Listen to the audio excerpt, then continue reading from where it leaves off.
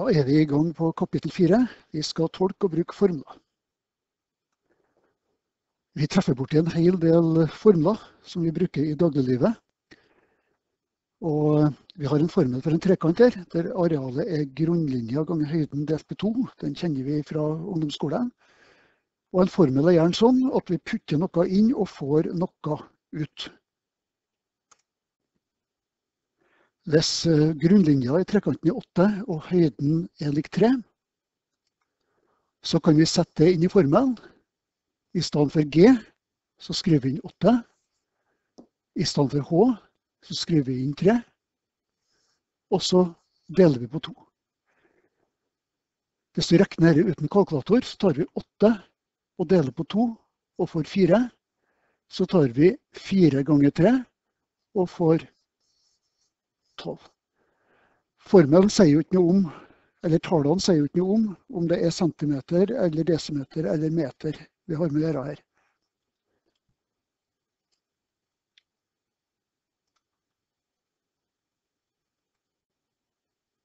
Så en formel den gir oss da sammenhengen mellom to eller flere størrelser. De to størrelsene vi putta inn her var jo grunnlinja av høyden, og det vi fikk ut var jo arealet. Her har vi et eksempel der Emil vurderer å kjøpe vindmølle til hytta. Og den årlige energiproduksjonen fra en bestemt type vindmølle er gitt ved denne formelen. E står for energi. Så har vi et tall som er 0,15. Tall kaller vi gjerne en konstant. Så skal vi gange 0,15 med lengden av vengene på vindmølla målt i centimeter. Og vi skal ikke bare gange med L, vi skal ta gang med L i andre. Og når noe blir tatt i andre, så betyr det at det skal ganges med seg sjøl. Så L i andre er sånn som L ganger L. I eksempelet her så er L lik 60 cm. Vi tar altså putter 60 cm inn i formelen og ser hvordan energi vi får ut. Vi putter inn i formelen vår, vi har 0,15 fra før, og så ganger vi med 60 og opphøye det i andre. Vi putter på at vi får kilowattimer ut som benevning i svaret. Så taster vi inn på kalkulatoren. Jeg skriver inn 0,15, så ganger jeg med 60. Og det skal opphøyes i andre. Klikker X i andre-knappen og klikker er lik på kalkulatoren og får 540. Da er det bare å skrive svaret, sett kilowatt-timer bakom. Da anbefaler jeg å gjøre oppgave 4.1 så snart som mulig, for at eh, den gjøres på akkurat som avise, som i eksempelet vi hadde i stad. Fort gjort og fort gjort å taste inn på kalkulatoren. Sammen med oppgave 4.2, som da er akkurat likens som det første eksempelet jeg tok med arealet av en trekant. Oppgave 4.3 tar vi lag som et eksempel. Og her har vi to formler. Og de formlene bruker vi til å anslå hvor høyt en unge blir i voksen alder. Høyden på en guttunge er da gitt ved formelen. Det er høyden på mora pluss høyden til faren pluss 13 delt på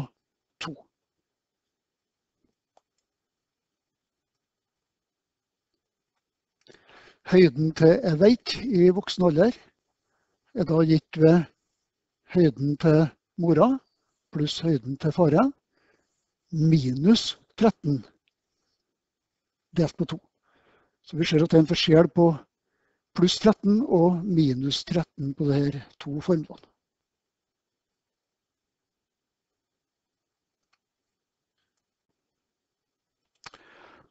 Her er mora 1 meter og 76 cm, 176 cm. Faren er 187 cm, 1,87. Vi skal bruke formlene til å anslå hvor høyt et barn blir som voksen hvis barnet er en gutt og barnet er veik.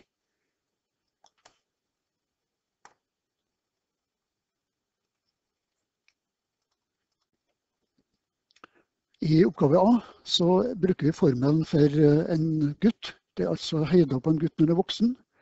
Og vi skriver først opp formelen, og så putter vi inn tall etterpå. Vi putter inn i formelen. Mora er 176. Faren er 187. Plusser på 13 og deler på 2.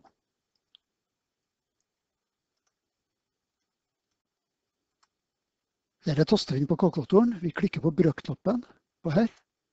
Så skriver jeg 176 pluss 187 pluss 13.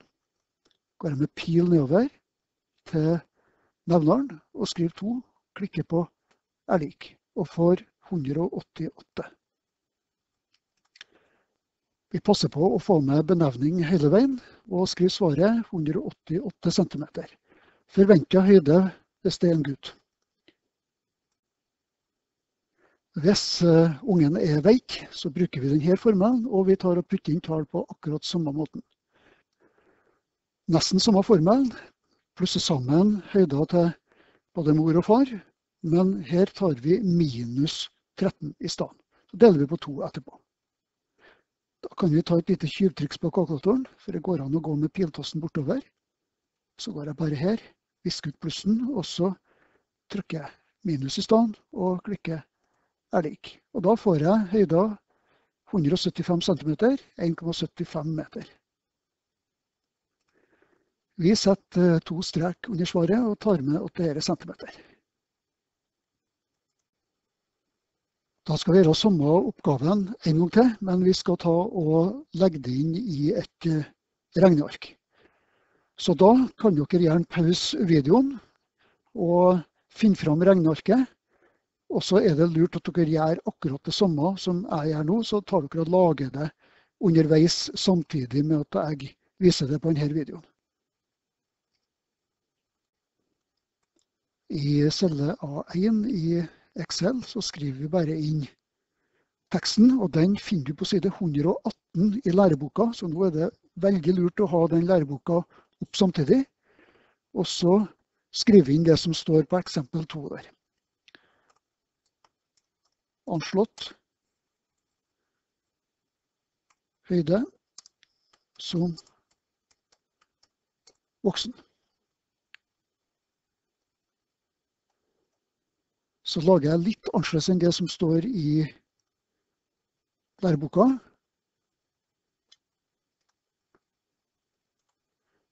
Jeg tar og drar A-kolonna såpass brei at jeg får plass for all teksten. ja.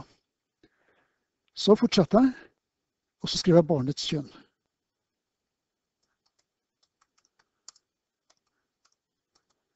Fortsett nedover to hakk. Mors høyde i centimeter.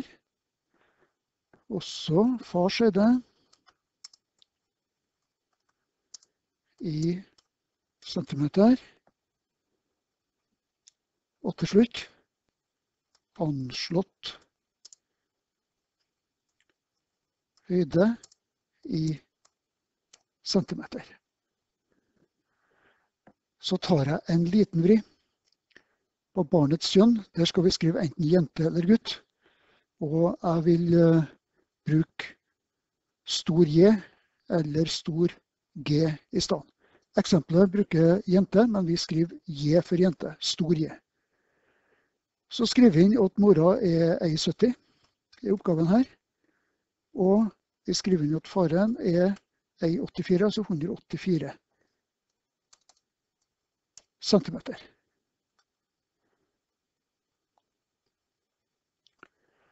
Hvis det skal være litt stiligere, så kan vi jo ta og markere kolonne B.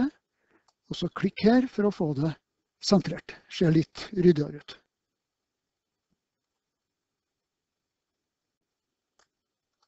Da er vi klar for å skrive inn formelen. Starte alle formlene i Excel med er lik.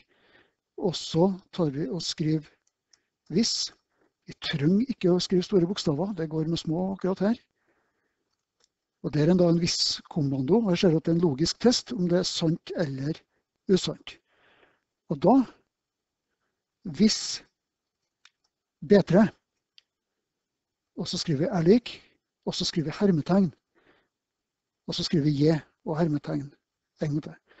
Hvis det står J i B3, skriver semikolon, da skal dette skje. Og Da bruker vi formelen for eh, høgda på veita. Da skriver vi parentes, og da tar vi høyda til mora, som er B5, plusser vi på høyda til faren, som er B6. Så husker vi på at vi skulle ta minus 13 på formelen. Og til slutt så skulle vi dele det på to. Hvis det ikke er veik, så bruker vi formen for gutt. Og det er da et semikolon her. Så her er da hvis det er usant ifølge denne betingelsen. Og da tar jeg parentes, klikker på B5, plusser på B6 som høyde til faren. Men her plusser vi på 13. Og så deler vi på to. Og så avslutter vi med parentes til slutt. Klikker vi enter og ser om det her funker. Det gjør det. Her ser vi at vi får anslått høyde i centimeter. 170,5 cm. Hvis foreldrene, mora er 1,70 og faren er 1,84. Så skriver jeg gutt her. Så ser vi at da fungerer det faktisk der òg. Og hvis vi da vil forandre på høyda til mora f.eks. og skrive 1,76, så ser vi at det forandrer seg til ungen. Så kan vi gå tilbake og skrive veik og regne ut hvordan det er da.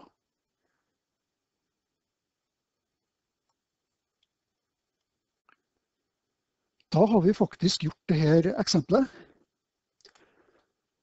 Siste oppgaven denne vekka, det er oppgave 4-6. Kommer til å skrive det på arbeidsplanen deres. Og Da skal dere lage et regneark, sånn som vi nettopp gjorde. Bruk samme regnearket. Det eneste dere trenger å gjøre, er å taste inn 1,74 og 1,91 og 1,61 og 1,79. Og akkurat den oppgaven her vil jeg at dere skal levere inn på Canvas.